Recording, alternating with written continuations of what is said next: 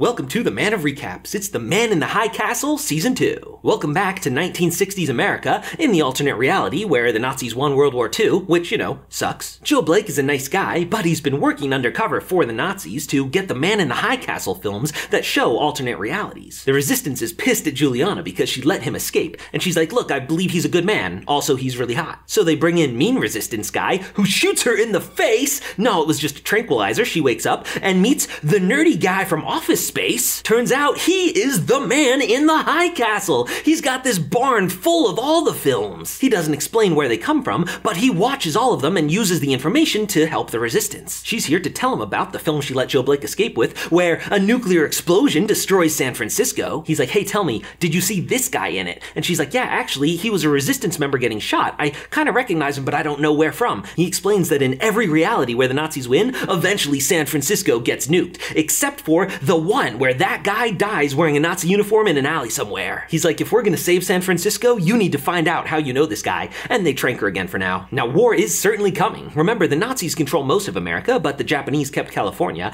The big problem is the Nazis have the A-bomb and the Japanese don't. Until now. Last season, Trade Minister Tagomi worked with a Nazi agent to get nuclear science to the Japanese. That way they could have a nice Cold War. But the Japanese general wants to build an A-bomb and use it for a sneak attack on the Nazis, which is the exact opposite of what he wanted. Trade Minister Tagomi, by the way, last season ended up meditating himself to an alternate reality, uh, but I guess he came back. He's like, well, that was a weird dream. Anyway, Joe Blake on the boat to Mexico, but they're gonna take the film and sell it to the resistance. He's like, yo, guys, the Nazis will pay way more. So, boom, airdrop, buttload of cash, and he kind of made friends with these guys. But unfortunately, boom, it was a bomb. Back in New York, Obergruppenfuhrer John Smith, like, Joe, we were never gonna pay those guys. You shouldn't feel bad, they were criminals. And Joe's like, yeah, I'm not cut out for this kind of work. I'm done. I'm gonna go back to my nice honest job at the construction site. Juliana in the trunk of the car, mean resistance guy is like, yo, we gotta kill her, she knows too much. And nice resistance girl's like, well, that wasn't our orders. But before they can figure it out, she busts out of the trunk, and there were some cops nearby, so it turns into a big shootout. Juliana gets away, and unfortunately, nice resistance girl gets shot and dies. Juliana makes it home. She finds the photo of her dad and his Air Force buddies. One of them is the guy in the film. Her mom's like, oh, that's George Dixon. He lives in New York now,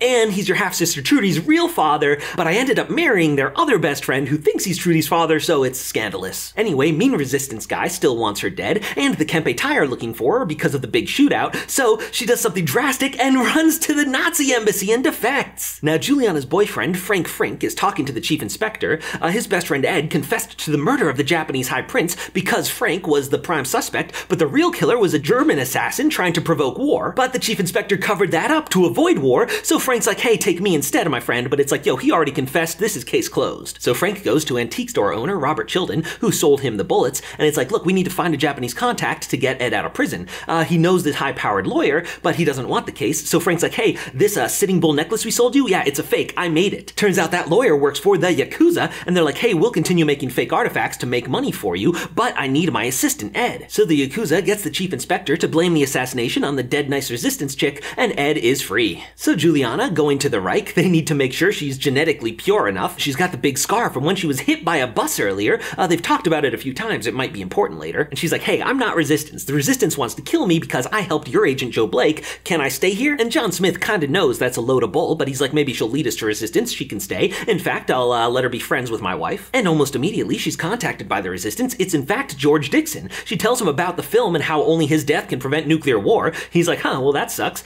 Um, in the meantime, we just want you to help spy on John Smith. John Smith has one big secret. His son has an incurable genetic disorder, and in Nazi America, they put those people down. Doctor's like, hey, John, we're friends, but you gotta do it today or I'm gonna report it. So he takes his son on a euthanasia fishing trip, but he just can't go through with it, so instead, he kills the doctor. Oh, he's the only one who knew about it and makes it look like a heart failure. Meanwhile, Joe Blake, living the simple life, has a random girlfriend, but John Smith shows back up. He's like, yo, I told you I'm not working for you anymore. He's like, actually, this isn't from me. This is from your father, who's a high-ranking Nazi official. Joe's father is Reich Minister Who, as far as Nazis go, is kind of a good guy. He's just an engineer and a futurist, you know? Of course, Joe hates him because he abandoned him and his mother, but his father shows him the old Lebensborn facility. That's where high-ranking Nazis were banging super hot chicks in order to perfect a master race. And he's like, Joe, you were born here. You're Lebensborn. And I didn't run out on your mother. She kidnapped you and stole you to America. I'm so sorry. In the meantime, Joe met this super hot German chick, Nicole, and they hit it off right away, but she's Lebensborn too. Wait, are we related? And she's like, lol, don't worry. This isn't Game Game of Thrones. So she takes him to a house party of the young Nazi elite, and they're like, hey man, all our parents are a-holes, but pretty soon we'll rule the world and we can make it a better place.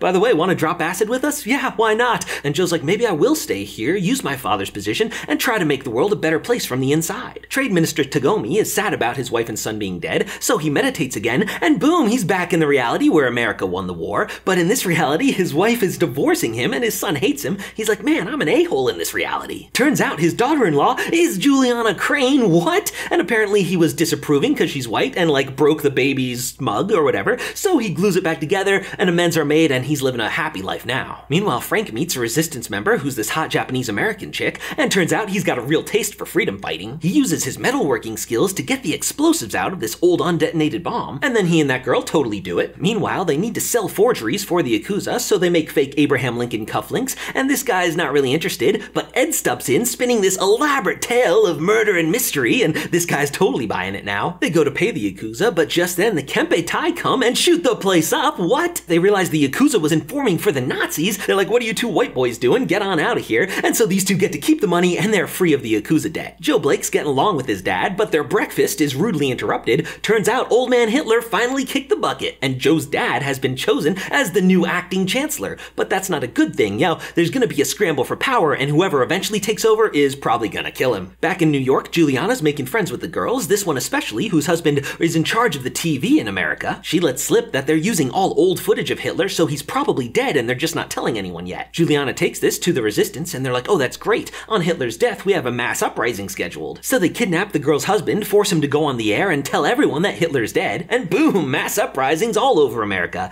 Uh, they send in the big guns from Berlin and they're like, hey, any city with an uprising, we burn it to the ground. It's like, uh, yeah, we're not gonna do that. Uprisings in San Francisco too. The resistance is gonna use the bomb to blow up the Kempeitai building. Frank's like, yeah, I'm your man for that. Ed and Childan are gonna bail to the neutral zone, and Frank's like, sorry, buddy, I'm not coming on this one. So those two will have an odd couple thing there next season. So Frank drives over there, gets the car bomb set, but on his way out, he's recognized by the chief inspector. So before he can get out, boom, the bomb goes off. We don't see Frank again. Maybe he's dead, but the chief inspector is a badass. He's just fine. Breaking news from Berlin. Yes, Hitler is dead, but he was assassinated by the Japanese. Oh, war's coming. The German plan is to nuke the entire Japanese empire. And Joe's like, come on, dad, this can't possibly be the way. He's like, Joe, a lot of people will die, but this will be the last war. Then we'll rule the world forever. Lots of peace. It's like, yeah, I guess. But something doesn't sit right with John Smith. He goes to see Reinhardt, who had the failed assassination on Hitler last season. He's like, hey, Hitler's dead, and Berlin ordered your release. Turns out your faction won. So this guy's super happy, and John's like, so what, are you gonna be the new Fuhrer? And he's like, no, not me.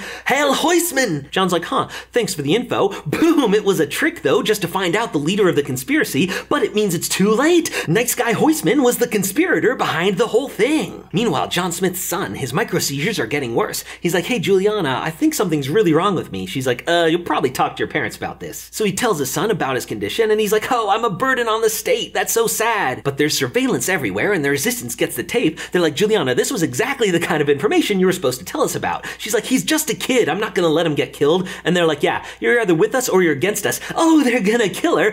But she busts out of there. No one knows she's a black belt in Aikido. She escapes and finds George, who has changed and is gonna submit the tape to the authorities to bring John Smith down. She's like, he's just a kid. You're no better than the Nazis. And he's like, we'll have to be as bad as them to beat them. So he's gonna go, and she makes a hard dilemma choice. Boom, shoots him. Oh. And so she's fulfilled the film prophecy. George Dixon's dead dressed as a Nazi in an alley. But how did this stop nuclear war? Well, over in the alternate reality, she's part of an anti-nuclear protest group, so they show a film about the latest hydrogen bomb tests, how awful they are, and the trade minister's like, oh, I should probably go back to my own reality and stop nuclear war there. So he takes that film and he's like, peace out, boom, reality shift. And turns out he's not the only one that can do this. His assistant actually came from the other one where his family died. Anyway, he shows the hydrogen bomb test to the chief inspector, and it's like, wait, in this reality, that's on Japanese soil. We don't have that weapon. It's like, no, we don't, but we want the Germans to think we do. So Chief Inspector goes to New York and shows John Smith the film, and he's like, yeah, we got the big bomb. You don't want to fight us. He's like, yeah, I agree. So John Smith goes to Berlin, meets with Joe, who takes him to his father, and they show the video to the German High Command. But Chancellor Heusmann wants to do the war anyway, so John Smith goes to Himmler and lays out the whole conspiracy. So they go, they arrest Heusmann uh, and Joe by association. They already had a big crowd gathered for the war speech, so they make it about stopping the conspiracy instead, and they honor Obergruppenführer John Smith with a big salute. Good job, you've done your country proud. But his son watching at home